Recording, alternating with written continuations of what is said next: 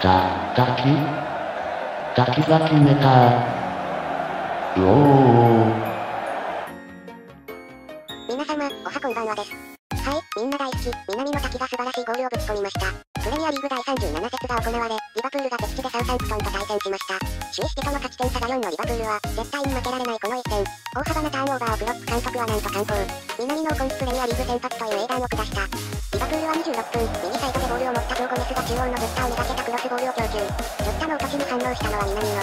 右足から放たれたシュートがニアサイドを打ち抜き、リバプールが試合を振り出しに戻した。後半さらに元シャルケ内田のチームメイト、ジョエル・マチプが勝ち越しゴール。リバプールは超大事なこの試合を勝ち優勝に望みをつないだ。FA カップ決勝戦からスタメン9名を変更をし、サウサンプトン相手に逆転勝利を飾った。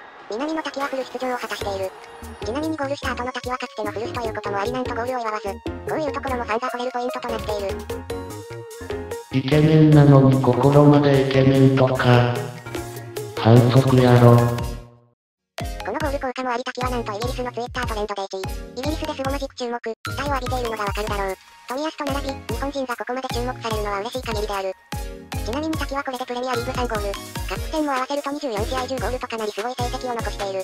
ちなみにグリーリッシュ3ゴール、サンチョ3ゴール、滝3ゴールという数字を見ると、南野がどれだけすごいかわかるだろう。移籍金は天と地ほど彼らと差があるのである。チャンスの数を考えるとまさに決定力は驚異的だ。さて、リバプールは首位との勝ち点を1に縮めて最終節へ。